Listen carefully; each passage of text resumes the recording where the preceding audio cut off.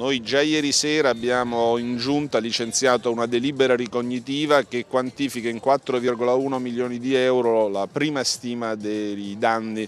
Madre Natura presenta il suo conto con violenza in occasione delle precipitazioni della settimana scorsa essi ammontavano a 250 mila euro, però capite che parliamo di somme importanti.